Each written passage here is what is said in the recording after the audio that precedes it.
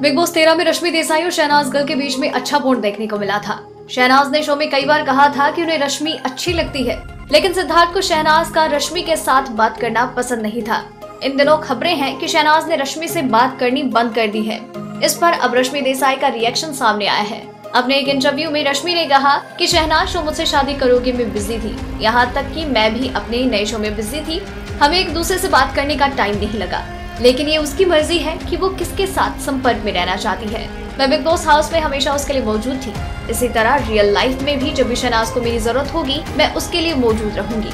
मैंने शहनाज से कभी भी बदले में कुछ नहीं चाहा, न ही कभी फ्यूचर में ऐसा चाहूँगी। ठीक है, अगर वो मुझसे बात नहीं करना चाहती तो। इन दिनों बिग बॉस तेरह के रिपीट एपिसोड चल रहे हैं। अगर आपको ये स्टोरी पसंद आई तो इसे लाइक और शेयर करें। साथ ही अपने व्यूज़ हमें कमेंट करके ज़रूर बताएँ। सब्सक्राइब करें हमारा चैनल ऐसी ही लेटेस्ट और इंटरेस्टिंग न्यूज़ के लिए।